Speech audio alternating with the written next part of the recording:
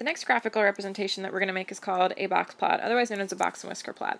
First step in making a box plot is ordering the data from least to greatest.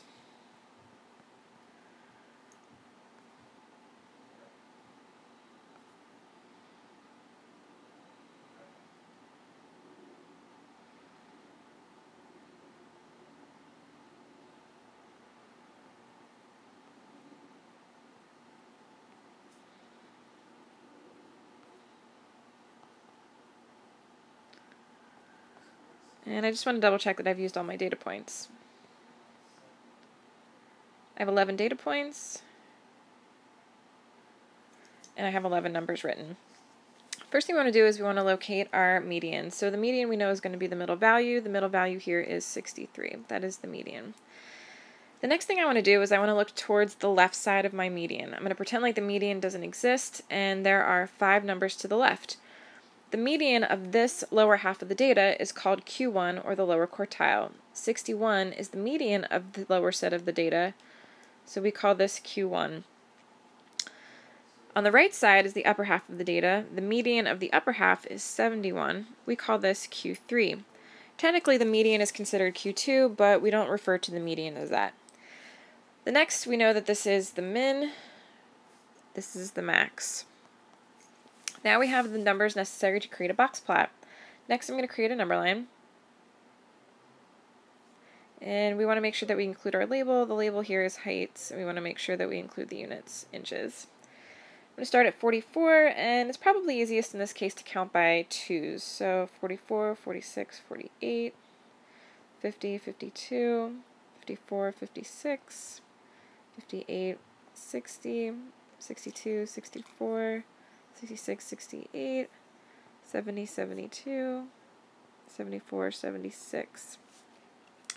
Everywhere I see um, a spot on the number line that corresponds to one of my five number summary numbers, I'm going to place a line. So I've got my min at 44, got my Q1 at 61, median 63, Q3 is 71, maximum 73.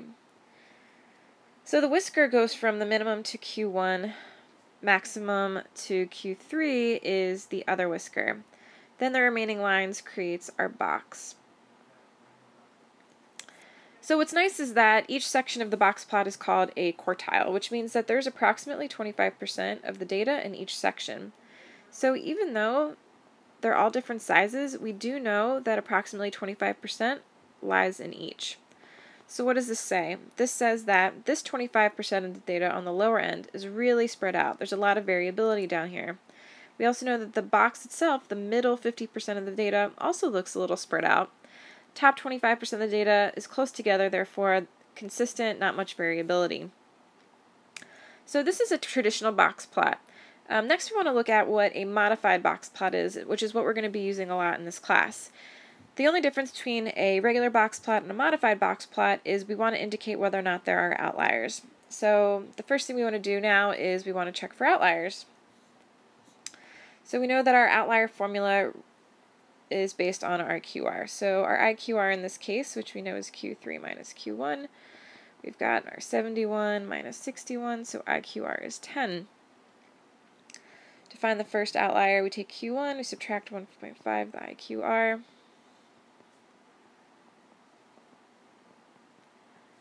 should get 46. The other side of the outlier is 1.5 plus the IQR. We got 71 plus 1.5 times 10. Should get 86. So any data value in our data set that is less than 46 or greater than 86 would be considered an outlier. So let's go back to our data set. Do we have a value that is fulfilling either of those inequalities? Yes, we definitely do. 44 in this case is considered an outlier.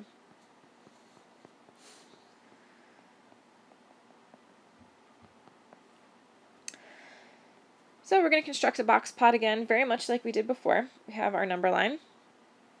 We want to make sure that we include our units.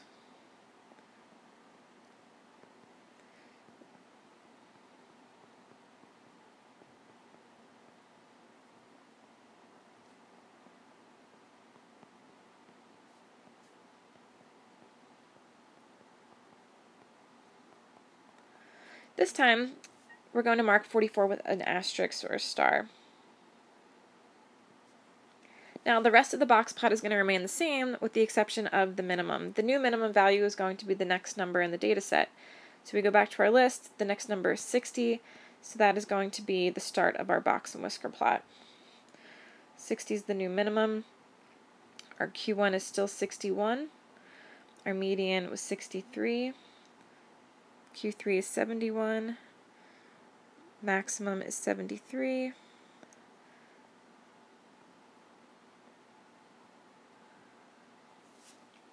By removing the outlier, you can see that the rest of the data is really consistent. This lower half of data, which includes approximately 25%, is much closer together than what it was originally. So you can see how that outlier really dragged out the left side of the box plot. By removing that outlier, we can see that the rest of the data is not as spread out as we originally anticipated.